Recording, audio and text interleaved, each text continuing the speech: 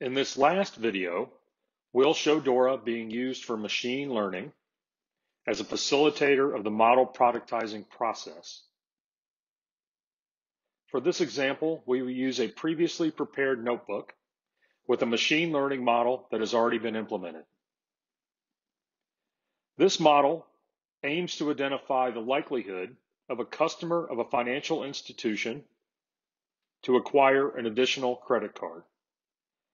As you saw in the previous video, we can create a table in our map store containing the data aggregation we want from a single SQL query.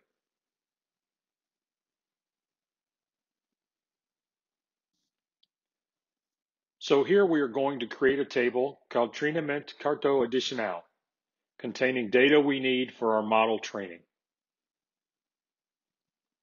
This query is the same one we used in the example showing cache storing data with multiple origins. Once we've created the table, we can identify its data here. I'll execute a brief query, and here it is. And now we can start building our model. First of all, it is important to say that the sandboxes are already filled with several libraries for the development of artificial intelligence algorithms. However, users are free to install any others they feel are necessary. As we are doing here with XGBoost and Imbalance Learn and Seaborn. Since I have already installed these libraries in a previous test, the return message only states that all libraries are updated. From there, we will start the development of the model itself, starting with imports. Moving on to loading of our training data frame. Note that the table used is the one we created earlier. We move on to the sampling definition and feature selection. And finally, we run the model training. Done. Now we have a trained model.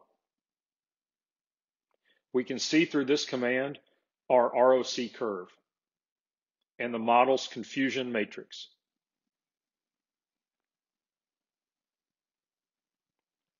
Once the model has been trained, we now need to determine how it shall be executed. It is then we'll use another of Dora's magical commands, percentage percentage ML. This one identifies that the paragraph in question will serve as a consumption interface for the model we've created.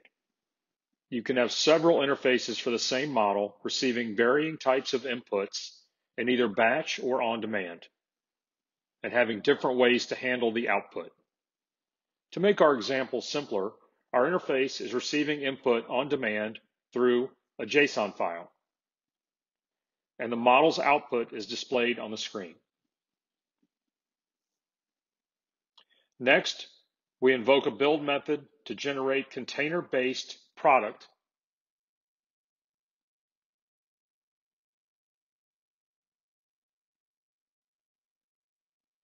In this container are all the required tools to run the model, including manually installed libraries during the implementation process. Let's wait a moment for the build execution.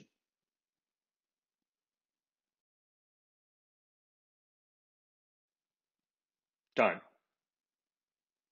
Once you're happy with your product, you just need to run the deploy method and it will be registered in our Docker register. In this case, for practical reasons, we are using Amazon ECR, but this is something you can change in the setup. Once the deployment is completed, we can access ECR and identify our model for consumption.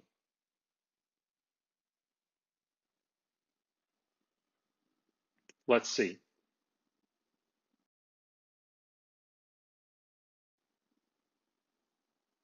Here it is.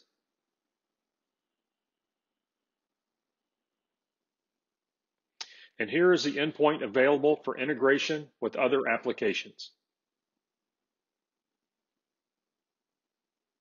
As an example of integration, we have a simple Python application that will consume the model we've just created using user input and display the generated score.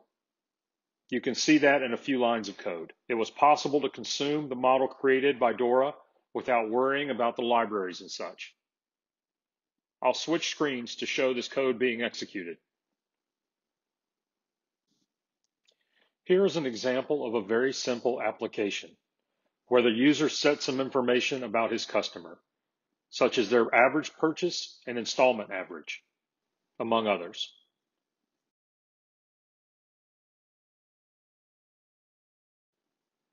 When we click on execute, our model on Docker will run. Let's wait a little bit. And there it is.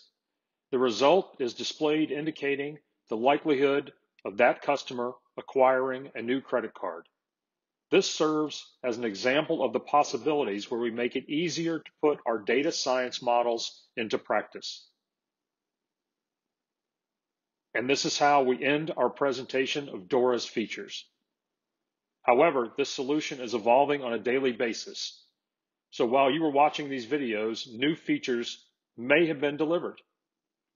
If you want to know more, contact us at dora at compasso.com.br. See you next time.